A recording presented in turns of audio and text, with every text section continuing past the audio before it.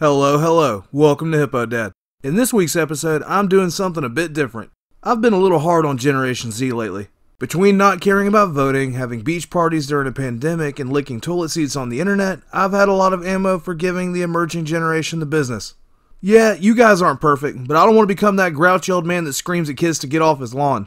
So I'm going to make an active effort to understand and engage the younger generation. So, I downloaded TikTok.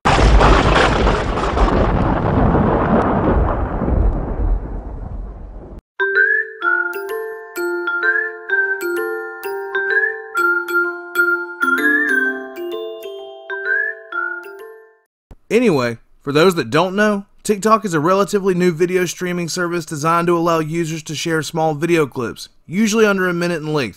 The app has over 800 million users, with over 40% being between the ages of 16 and 24. Hopefully, I'll be able to use my experience with TikTok to help me better understand the younger generation. Hell yeah, man, this is a good idea. Anyway, let's start with the first video.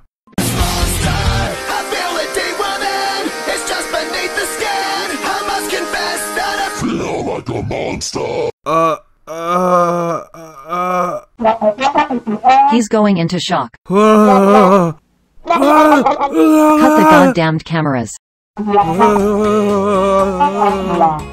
Call a doctor. He's going to bite his tongue. Uh, Wuhan!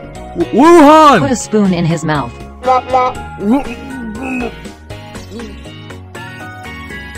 Hey guys, I'm fine now. The doctor came by and sedated me. I feel awesome. Alexa, did did you hear? The doctor said he was impressed with my big dick energy.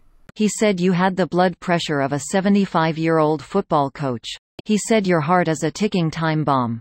Big dick energy. That house call cost you $65,000. Shit. What happened again? Oh yeah. Kid, what the fuck? Good choice of a song. Nothing quite says badass monster quite like Christian rock band Skillet. I feel it deep within, just beneath the skin. Hate to tell you, man, but that sounds kinda like the onset of type 2 diabetes. I'd get a doctor to look into that if you can manage to talk your parents into paying for it with a second mortgage. Also, what the hell was with all that madness at the end? Was that some kind of weird filter, or did his acid reflux disease cause him to vomit a whole bag of flaming hot Cheetos? Whatever, let's press on. Y'all hear that sound? It's a ratchet. See all this shit on my face? It's not dirt, it's not grease. It's a mechanic's war paint. We're the ones you call when your boyfriend can't bust a nut. Ooh, a clever play on words. It appears we have a man of culture. There you go, ladies. Kyle seems like a great catch. He works on cars, he can come. What more do you need? Quick question. If all those black spots on your face is mechanic's war paint, then what the hell is that on your chin? I hope that's not supposed to be a beard. It looks like you covered your chin in chia pet seeds. Chia. And is that supposed to be a mustache? He should have saved some of those chia seeds for his upper lip. His seventh grade teacher is just going to make him shave it off. Right? I'm surprised his dad didn't bust in and whoop his ass for playing with his big boy tools. Moving right along. Bitch, I'm a 10. You a motherfucking 4. Only thing you wanna do is mess around with hoes. Only thing I do is bit cook and clean. What the fuck you do is mess around with hoes, bitch. You a Alexa, is this a TikTok video or is this a PSA warning about the dangers of fetal alcohol syndrome? I'm pretty sure it's both. God damn. I guess they finally got internet access in rural Alabama. I think we might need to contact the police about this video. Um, why? Because she clearly dug up the juice man and stole his dragon eyebrows. Grave robbing is a felony. She's really nailing that Pai Mei but brain damage look. She called herself a 10, but I'm pretty sure that's just her vocabulary limit. only thing you wanna do is mess around with hoes. Only thing I do is bit cook and clean. In these short 15 seconds, she manages to shame other women while boasting about her own ability to cook and clean. I don't want to speak for all feminists, but I'm pretty sure this isn't what Susan B. Anthony would have wanted. Watching this clip was like watching the clock turn back on 100 years of women's progress and roughly 1 million years of human evolution. Alexa, call the local zoo and tell them Homo erectus over here figured out how to use a smartphone. Maybe they can teach her sign language. Yeah, and then maybe they can help her mow those eyebrows. While I'm so deep in you, right before you bust, I'm going to stop and whisper in your ear. Don't you dare, baby doll. Holy shit, I thought only kids use this app. Jesus Christ, TikTok should cross check whether or not new users are on the sex offenders registry before letting them post. And what the hell was up with that music? I'm going to stop and whisper in your ear. I can't tell if this is a real person or a sleep paralysis demon. Someone needs to check under this dude's house. This guy's like one part Maui and two parts Amber Alert. This is a troubling turn of events. I wasn't aware middle aged men were using this app for weird sex things. Hopefully, TikTok has this under control. Alexa, does TikTok have this situation under control? Hell fucking no. Oh, you cute little ooh woo girl. I would survive the virus with you. Ooh woo. Oh, hell no. What the fuck does Chunky Fred Flanders think he's doing? You weird ass piece of shit. That's a child. Seriously, what the hell? How is this allowed? His name is Stepping Now. He was recently banned for his predatory behavior. Banned? That isn't gonna do shit. This guy needs to be cast into a volcano and sealed away by ancient druids. He probably had a fast pass on Jeffrey Epstein's underage sex island. What the hell is Google and the NSA doing? They can track everything we say and spy on us with our cameras, but they can't be bothered to stop dipshits from thirsting on middle schoolers? Alexa, send this clip to Chris Hansen. Maybe he can dropkick this asshole before he shows up at Comic Con and starts abducting preteens.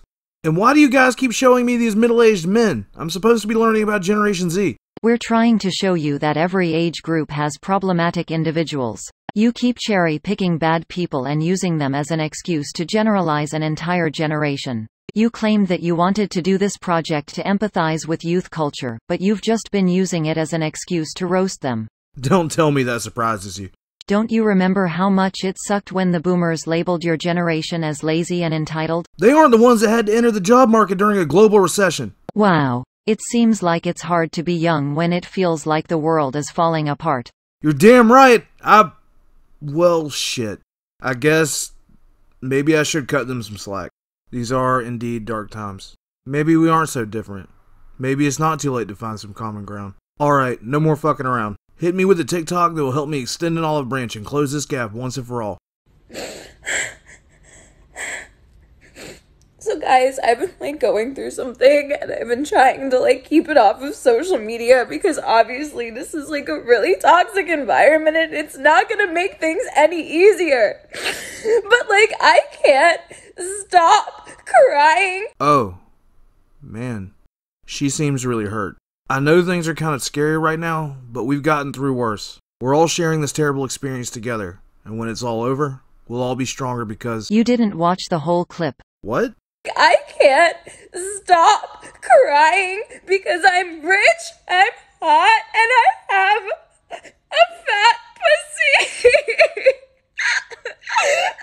God damn it, I got trolled. You were fucking in on this, weren't you? Haha. Eat shit. You look like an idiot. Mm, whatever. This girl sucks. Nobody gives a shit how rich you are or how fat your cat is. She wasn't talking about her cat. What? Oh, ew. Fucking gross. She needs to be careful crying wolf like that. A horny James Franco could smell a distressed woman from over seven miles away, and he sure as hell won't care if you're joking or not. James Franco is literally going to kill you one day. I highly doubt it. His eyesight is similar to that of a T Rex. He doesn't track males, and he typically ignores anyone over 17. So he's like a velociraptor? Exactly. Anyway, back to Dollar Store Paris Hilton. Lady, you need to be careful about what you post on social media. Anything that goes online can haunt. Wait. That's the fucking girl that licked the toilet seat. No way. Yeah, yeah. Play the clip. Holy shit, it totally is. No wonder she's covering her mouth. She's trying to hide the herpes she got from licking that toilet. She seems to have fundamentally misunderstood what it means to go viral. Apparently, she was on Dr. Phil recently. No shit. Can we get a clip? Do you have any concern that you put more older people at risk?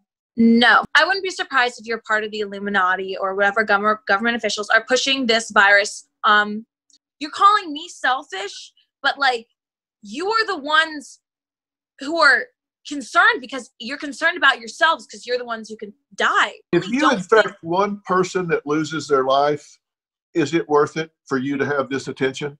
Yeah, I'm hearing you talk and you're like, oh, you're gonna kill somebody. Like, you know what? Like, I'll pull up and I'll cough hmm. on you. Oh, it makes sense now. She's retarded. At this point, I'm just impressed she made it this long without choking on a Tide Pod. To be fair, Ava here does make a compelling case for extending the time frame for late term abortions to 18 years old. I'm surprised her mom didn't try to bust into a room and attack her with a coat hanger. Well, this little experiment didn't really accomplish anything. I would put my faith in the generation after Z, but considering most of these kids grew up watching Spider Man chase Elsa on YouTube, I'm not gonna hold my breath. I guess the cycle is unbreakable and we're doomed to attack each other until the planet bursts into flames and kills everyone. That's all for Hippo Dad this week. I want to give a quick shout out to my YouTube buddy Banter Boulevard. I got this idea from watching a few of his videos, so if you like this one, then be sure to check out his channel. I put a link to his channel in the description. I'm probably going to do some kind of collaboration thing with him in the coming weeks, so keep an eye out for that. Be sure to subscribe to the channel hit that little notification bell. I'm still working on my goal of getting 100 subscribers, so hitting that button if you haven't already would be a big help. I try to get a new video out at least once a week, so subscribing to the channel is the best way to make sure you never miss an episode. Feel free to leave a comment below. I'd love to hear everyone's opinions on the other generations. For any of the Gen Zers watching this, try not to take this video too seriously. I know most of you guys aren't licking toilet seats and shit. Feel free to vent your complaints about everyone else in the comments. Well, until next week. Thanks for watching the video. Be sure to click the icon on the right to subscribe to the channel. Feel free to leave a comment below. Click on the TV to continue watching more Hippo Dad. Till next time.